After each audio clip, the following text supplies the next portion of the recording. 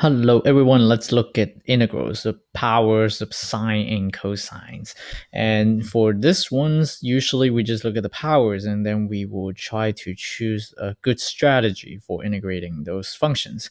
And for sine cosine, we usually will look for an odd power and see if whether the sine has an odd power or the cosine an, has an odd power. It actually doesn't matter which one has an odd power. We just need at least one of them to have an odd power so that we can perform a u sub. But then also it will require us to use the Pythagorean identity to um, to do some manipulation. Okay, so let's look at this one. And as you can see here, the sine has an odd power. That's sine cube. Okay, so what we can do is that the way that we do it is that we look for the odd power and then we get to factor this and we are going to reserve a copy of the sine and what I mean by that is that we are going to just just write it as sine square of x. Okay, so that's taking uh, two copies from away from this sine cube. And then of course there was still the cosine square in there, right? So let's just copy that. And then you may say, where did that extra copy, the other copy of the sine go? Because there's there are supposed to be three copies, and we are just going to put it at the end of the integral. So it will actually now be um, this. So we have the sine x dx right here.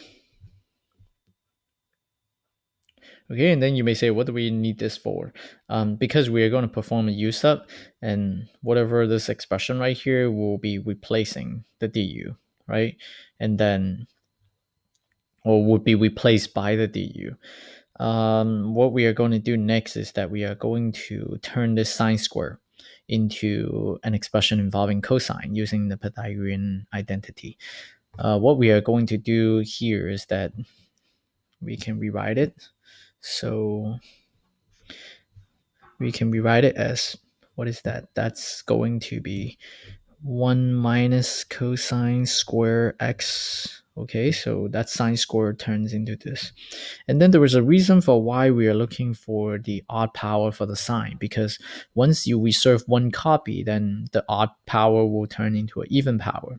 And that even power will allow us to turn it in uh, into an expression involving cosine using the Pythagorean identity. So that's why we look for the odd power.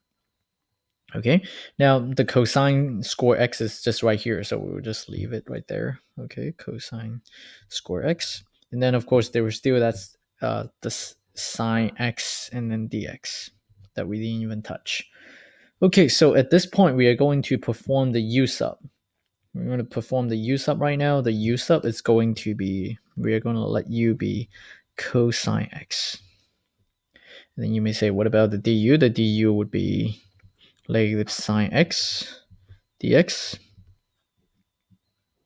Okay, now as you can see right here, we do have that sine x, and then we have the sine x right here, and then we have the dx, and we also have the dx here. What we do not have is really just that minus sign. So we can multiply both sides by negative 1, and then we can turn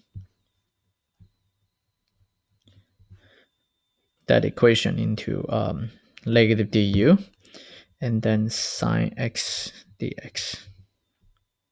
Okay, now we're ready to mm, replace the sine x dx with the negative du and then also of course the all the cosines will turn into the u right? So let's do that.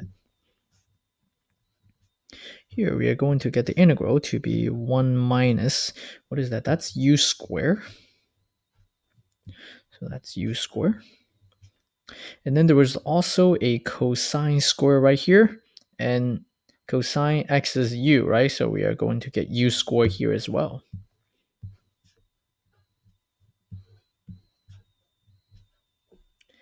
And then what about this sine x dx? We are going to replace it by negative du, so we put it here.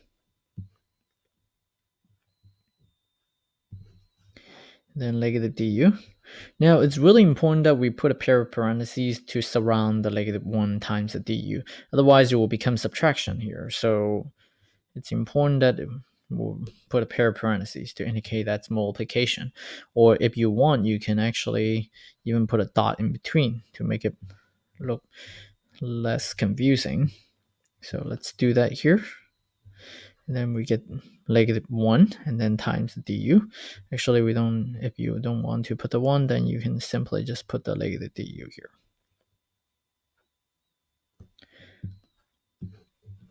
Okay, so now this leg negative 1 is a constant and we can move it outside the integral. We don't need to worry about this negative 1 here.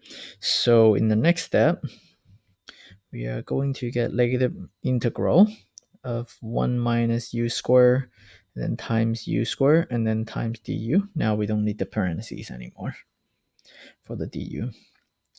And then because this is a product, we should distribute before we do the integration. So we are going to get negative integral. And then if we distribute this u squared to the 1 and then distribute this u, squared u squared to the um, negative u squared, then we are going to get u squared minus u to the fourth and then times du. And so we are going to get minus. Now integrating the u squared and then the u to the fourth, we are going to get u to the third power over 3, right? And then minus u to the fifth power over 5, or times 1 fifth. And then of course we can put a plus the c here. And then all we need to do in the next step is really just to distribute that minus sign on the outside to both terms. And also substituting the cosine x back into the u. So final answer, we have final answer we have uh, negative 1 over 3 and the u is the uh, cosine x right Oh, actually, I don't need the parentheses anymore. So let me just put cosine x. And then, of course, we can put the cube between the cosine and the x, right? And then distribute that minus sign to this minus sign here. We are going to get plus 1 over 5. And then what do we have here? Again, it's cosine x, right? So cosine x. And then I put the fifth power here. And then plus c. Okay, so this one is actually a simple u sub, but it will require you to see which power of the sine or the cosine is an odd power so that you can reserve a copy. And after you reserve a copy, then you can you have an even power left on that function and you can use the Pythagorean identity to turn it into the other function. So in this case, I turn the sine square x into 1 minus cosine square x and then I do a u sub. And then that reserve copy is really just for um, for um, making the substitution with the du. And then after that, the rest will be just straightforward. Okay, so thank you for watching this video. And if you like this video, please subscribe to my channel and give me some support. I really appreciate that. Thank you. And I will see you next time.